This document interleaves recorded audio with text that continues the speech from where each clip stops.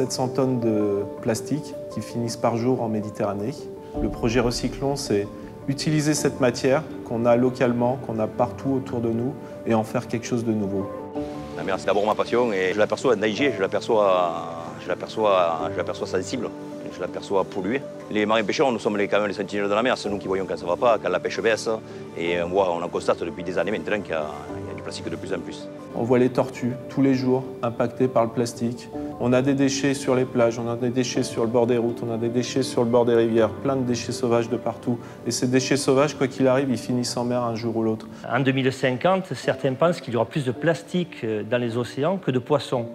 Euh, donc là, tout à coup, on se dit attention, l'alerte est très très forte, le défi également, donc il faut qu'on s'investisse pleinement et je pense qu'on y arrivera.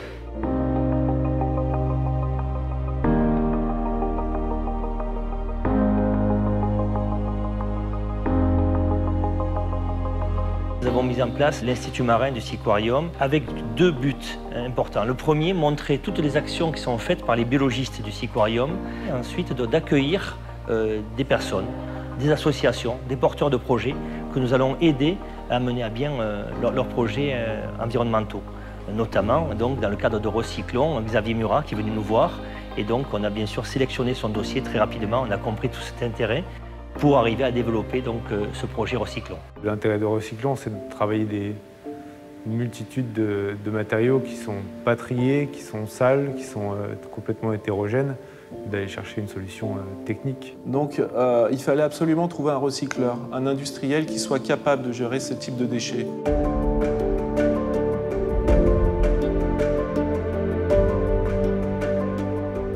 Xavier Murat a cherché un partenaire qui puisse, derrière la collecte de déchets plastiques, trouver une alternative à l'enfouissement et à l'incinération qui puisse être une véritable transformation du déchet.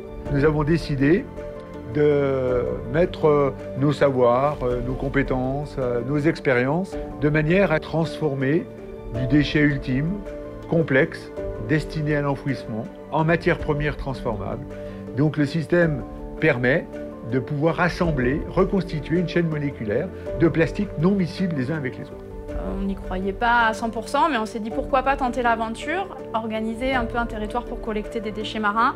Et là, eh bien, nous avons pu prendre en charge ce déchet, ensuite le rendre à l'état de granulat, le laver, le désensabler, le tamiser, puis par notre procédé de compression-friction, sa fabrication du, du, pot. Un petit pot, certes, un petit pot, mais ce petit pot, il raconte une histoire, il raconte une histoire importante. C'est-à-dire qu'aujourd'hui, on va casser cette chaîne, on met une première brique, une première brique où on se dit, voilà, on a différents types de plastique, on arrive à les, à les transformer ensemble et à faire une matière secondaire. Et ça, personne n'a réussi à le faire aujourd'hui. Plus de cinq plastiques différents, étrangers, absolument incompatibles les uns avec les autres, se sont trouvés à l'intérieur d'un même pot.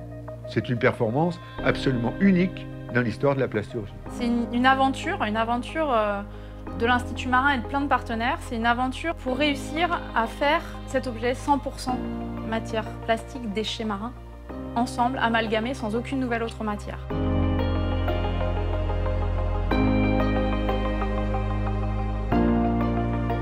Pour le Gros du Roi, le projet Recyclons est une fierté parce que c'est un engagement collectif. C'est une prise de conscience collective.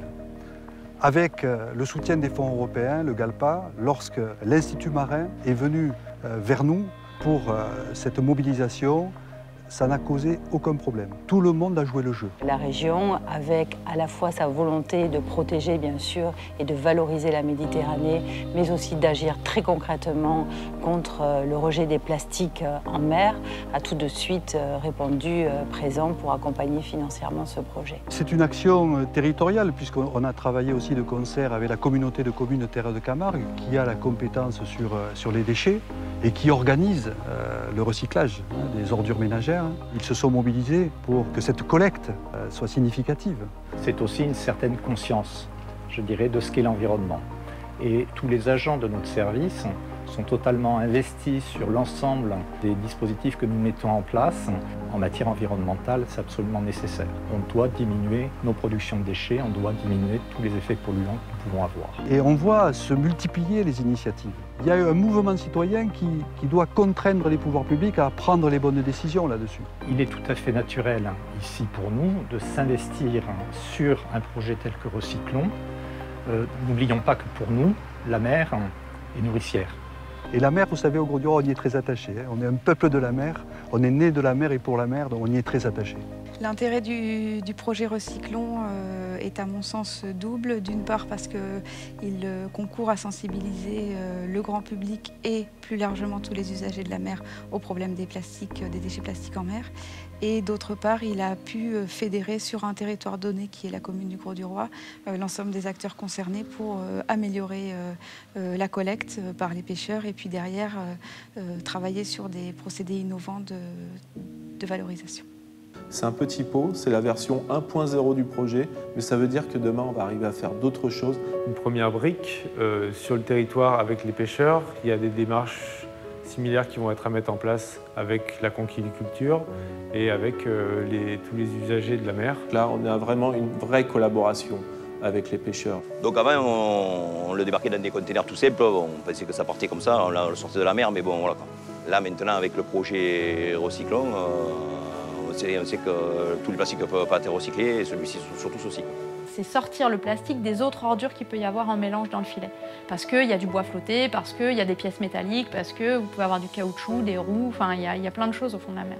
Et puis de fil en aiguille, on a avancé, on a rencontré pas mal d'acteurs et on s'est dit mais attends, la question elle n'est pas là, elle n'est pas juste de euh, collecter des déchets et de les envoyer euh, à l'entreprise, elle est de comprendre combien il y a de déchets, quels sont ces déchets, pourquoi il y a ces déchets et aller beaucoup plus loin dans l'interprétation. La collecte qu'on a fait, qui est quand même assez conséquente, en six mois on a récupéré plus de 500 kg de plastique. Sur ces 500 kg de plastique, 95% entrent dans le process et servent. Nous avons euh, une volonté de pouvoir euh, transformer, je dirais, la tonne et demie de déchets plastiques flottants qui a été collectée. Une tonne et demie de déchets plastiques flottants, euh, inutile de vous dire les millions de microparticules que euh, dans 10, 15, 20 ou 30 ans, c'est une tonne et demie aurait constitué euh, au large du Gros du Roi. Ce qui peut être intéressant avec euh, les données issues de ce monde de la pêche, en particulier des chalutiers, c'est plutôt la répartition spatiale des quantités de plastique au fond. À savoir qu'il y a certains secteurs qui sont beaucoup impactés, d'autres moins, et ça, ça peut être des informations qui sont intéressantes justement pour les chercheurs qui travaillent sur euh, la courantologie, les zones d'accumulation. Nous travaillons ici au CNRS de Montpellier sur ces tortues marines, sur leur biologie euh, le long des côtes du Languedoc-Roussillon et en particulier sur des problématiques d'ingestion des plastiques par ces tortues marines. La tortue est utilisée comme un bio-indicateur, c'est-à-dire qu'elle indique la quantité de plastique en mer. Malheureusement, on sait que la Méditerranée est une des mers hein, les plus euh, polluées au monde en termes de concentration euh, euh, de macrodéchets, de particules de plastique. Donc de toute façon, ce projet pilote, une fois son évaluation réalisée, a vocation vraiment à être répliqué, à essaimer, puisque euh, face à l'urgence d'agir et à l'ampleur malheureusement de la catastrophe, nous aurons bien sûr à démultiplier, à déployer euh, ce, ce type de, de projet. Et pourquoi pas l'exporter à, à d'autres ports euh, et pourquoi pas à d'autres pays aussi? Ce serait quelque chose d'intéressant. Et l'idée, voilà, c'est demain de, de pouvoir aussi aller sur d'autres déchets. Donc on, on a des solutions pour les filets de pêche, on a des solutions pour euh, les poches conchilicoles. Donc ça veut dire que Recyclons pourra être aussi une plateforme pour aller chercher ces autres déchets. Et peut-être qu'ensemble, à travers cette opération Recyclons, nous irons essaimer euh, et organiser et structurer les collectes qui pourront s'organiser sur d'autres euh, territoires. Dans un monde où on doit envoyer des signaux, eh bien, à travers ce département marin, ben, il nous permet d'envoyer des signaux, un peu comme un phare sur un littoral. Et ensuite, il y aura des habitudes plus profondes à changer. Euh, on se pose la question est-ce que j'ai besoin de cette bouteille d'eau? Est-ce que je peux avoir des réflexes d'utilisation de- d'objets qui me permettent de moins utiliser de plastique et finalement de remettre le plastique à sa juste place On va faire en sorte de, de moins consommer, de, de réduire notre consommation de plastique pour arriver à, à moins en jeter, moins, moins fabriquer du déchet. Quoi. Donc le meilleur déchet, c'est celui qui n'existe pas, c'est celui qu'on n'a jamais fait. Le plastique, il, il se déverse. Mais qu'est-ce qu'on peut faire? C'est arrêter ce robinet?